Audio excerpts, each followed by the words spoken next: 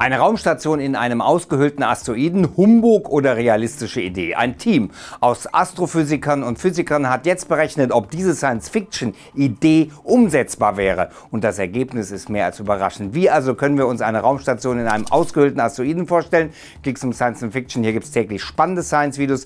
Abonniert den Kanal, nur dann verpasst ihr nichts. Herzlich willkommen. One, two.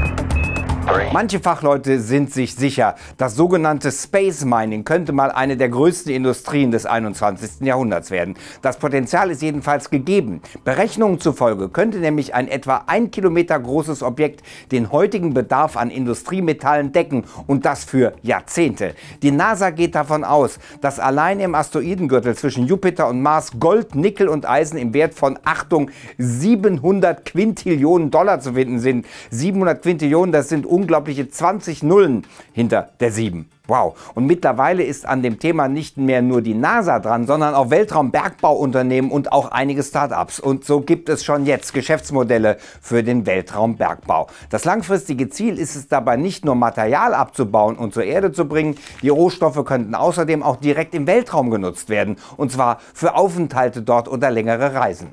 Bei der Umsetzung wäre eine Raumstation enorm sinnvoll und zwar direkt an oder besser gesagt direkt in den Zielobjekten. Konkret könnte beispielsweise ein Teil eines Asteroiden ausgehöhlt werden, um dann in seinem Inneren eine Raumstation aufzubauen. Das hätte direkt einige Vorteile, die den Abbau von Rohstoffen enorm vereinfachen würden. Im Inneren eines Asteroiden beispielsweise wären die Astronauten vor der kosmischen Strahlung geschützt und nach dem Abbau der Rohstoffe könnte man den Asteroiden in Rotation versetzen. Damit würde dann eine künstliche Schwerkraft erzeugt. Klar, das klingt erst einmal nach Science Fiction pur, doch völlig ausgeschlossen ist das ganze Projekt keineswegs. Astrophysiker und Physikerinnen der Universität Wien haben diese Zukunftsvision jetzt einmal genauer analysiert. Als Basis für ihre Berechnungen haben die Fachleute einen hypothetischen Asteroiden mit einer Größe von 500 mal 390 Metern ausgewählt, der künstlich in Rotation versetzt wird. Asteroiden solch einer Größenordnung existieren tatsächlich in der Nähe der Erde.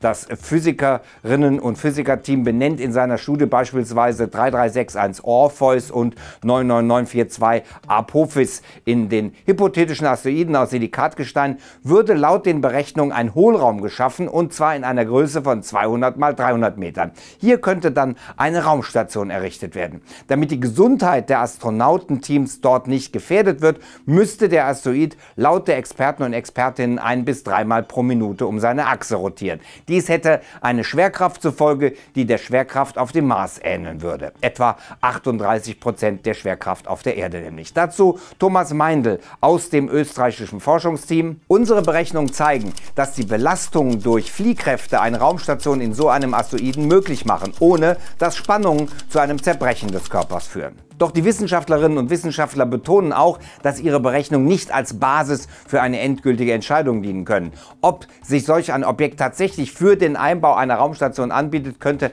allein eine Mission vor Ort zeigen. Diese würde dann auch wichtige Erkenntnisse zur inneren Struktur und Zusammensetzung des Asteroiden liefern, die uns bislang noch fehlen. Die größten Gefahren aus dem Weltraum. Draufklicken, anschauen und Astrocomic TV abonnieren. Cooler Kanal. Ansonsten bis dann, bleibt dran.